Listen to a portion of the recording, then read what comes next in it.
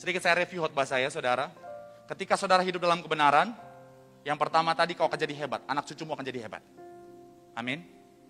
Yang kedua, ketika kau hidup dalam kebenaran, jadi orang benar, maka hidupmu pasti diberkati Tuhan. Amin. Ketika kau hidup dalam kebenaran, jadi orang benar, maka setiap langkahmu akan dituntun Tuhan, sehingga setiap langkahmu adalah langkah yang menuju pada kemenangan demi kemenangan. Kemudian, ketika kau hidup dalam kebenaran, maka langkahmu tak tergoyahkan, tetap teguh berdiri apa pun badai kehidupan. Berikutnya, ketika kau hidup dalam kebenaran, maka tidak ada ketakutan lagi.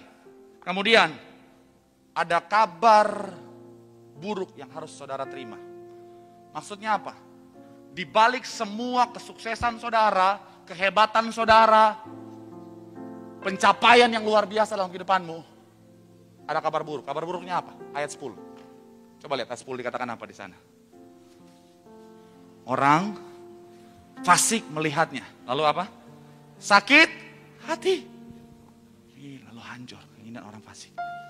Sih, saudara ketika jadi hebat, saudara ketika jadi luar biasa, akan muncul orang-orang yang tiba-tiba bisa nggak senang sama saudara.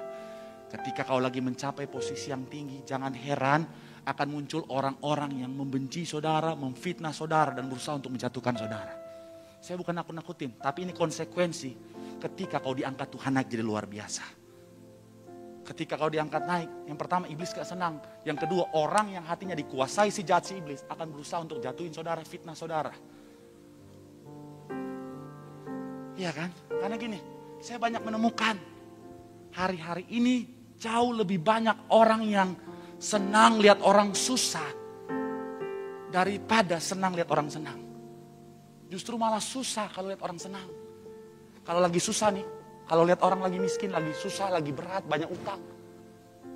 Lebih banyak orang akan, oh susah dia. Memang udah, udah pantas dia begitu. Memang udah cocok dia begitu. Dari wajahnya wajah-wajah susah, memang pantas dia begitu. Ya. Oh lagi banyak utang, hmm, mukanya bentuk U, utang. Cocok dia cocok. Tapi coba kalau lihat orang lagi diberkati, lagi diangkat, lagi dipromosikan, akan muncul orang-orang yang ih kok bisa dia diberkati? Kayaknya nggak pantas dia diberkati itu. kayaknya dipromosikan begitu, ih pasti dia mulutnya penjilat itu penjilat dia pasti itu mulut manis tuh. Ketika saudara lagi makin diberkati, apalagi secara finansial, ekonomi, waduh, akan muncul orang-orang yang, masa lagi susah, jualan lagi seret, tapi kok dia dikit-dikit kok banyak duitnya kayaknya ya. Jualan lagi sepi begini kok tiba-tiba dikit-dikit di rumahnya dikit paket, paket, pagi paket, siang paket, malam paket. Apalagi kalau rumah-rumah yang tetangga yang nempel-nempel banget gitu ya. Tetangga ngorok aja kedengaran gitu ya. Apalagi tukang paket lihat paket. Dikit-dikit paket, dikit-dikit paket, dikit-dikit paket. Padahal masa lagi susah begini paket, paket, paket, paket, paket. Udah benci gue lihat si orange, orange datang. Orange, hijau, orange, hijau, orange, hijau.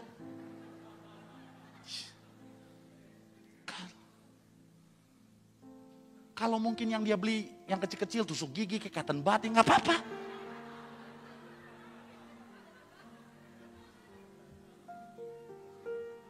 Tapi masalahnya yang dia beli dikit-dikit TV, kulkas, mesin cuci, radio, sama penyalnya dia beli. Huh.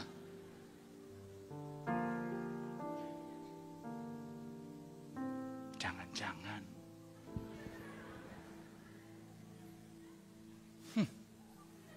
Lagi masa-masa sukar begini, lagunya yang serem dikit tuh. Yang serem dikit lagunya. Hmm. Dia banyak duit di masa sukar. Padahal nggak ke mana-mana. Pasti itu. Babi ngepet.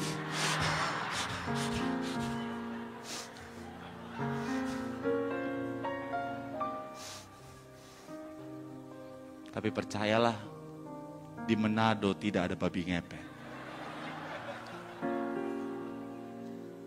Karena Benado kalau ada babi ngepet, baru dia berubah jadi babi ngepet, udah jadi babi putar dia.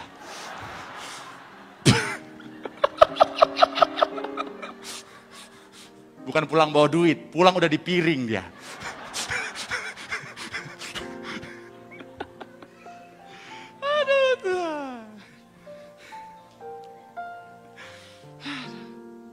Bilang saudara, ketika kau lagi diberkati karena kau hidup benar, kan kalau kita hidup benar pasti diberkati, pasti sukses, pasti berhasil diangkat, dipromosikan Tuhan.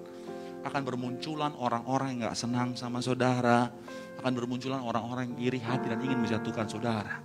Bahkan bisa membuat fitnah dan lain sebagainya. Kau usah jauh-jauh.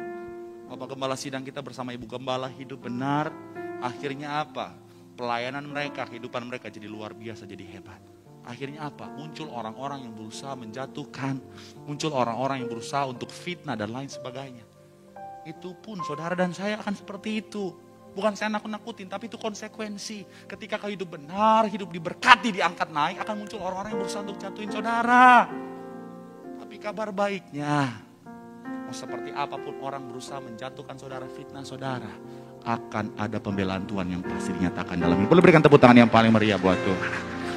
Hilang sama kanan kirimu, hidup dalam kebenaran, ada pembelaan Tuhan. Tepuk tangan yang paling meriah buat Tuhan.